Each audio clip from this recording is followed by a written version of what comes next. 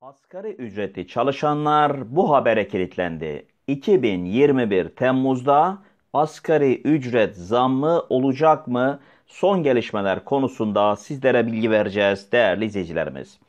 Asgari ücret 2021 yılı başında belirlendi. Önümüzdeki birkaç gün içerisinde emekli ve memurların yeni maaşları belli olacak. Temmuz ayında yapılacak zam asgari ücretli çalışanları da heyecanlandırdı.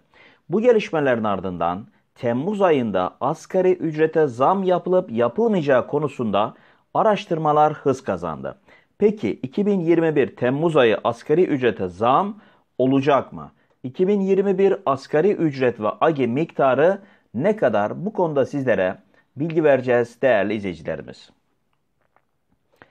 İşçi ve işveren ve devlet temsilcisi olmak üzere belirli sayıda oluşan asgari ücret tespit komisyonu tarafından her yıl asgari ücret miktarı belirleniyor. Yılın ikinci yarısına geldiğimiz şu günlerde gözler asgari ücrete yapılacak zam oranına çevrildi. Temmuz ayında memur ve emeklilerine yılın ilk 6 aylık enflasyon oranına göre zam yapılacak.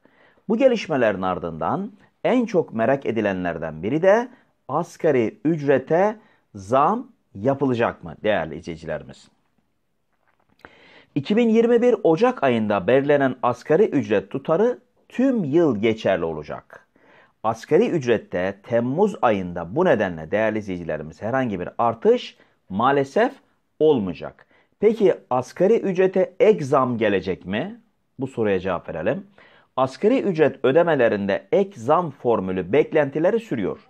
Uzmanlar tarafından yapılan açıklamaya göre asgari ücretli vatandaşların her ay ödemiş oldukları 456 lira gelir vergisi ve 27 lira damga vergisinin maaşlara eklenmesi düşünülebilir.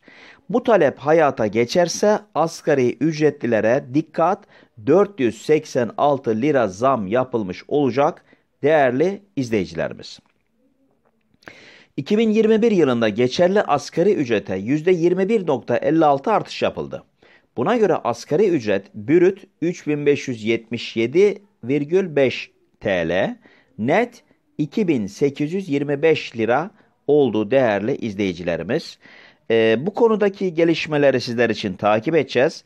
Böyle önemli bilgilere ulaşma adına kanalımıza abone olursanız memnun oluruz. Videomuzu beğendiyseniz lütfen beğen tuşuna basmayı ve linkini paylaşmayı unutmayınız. Yayınımıza katılan tüm izleyicilerimize teşekkür ediyorum.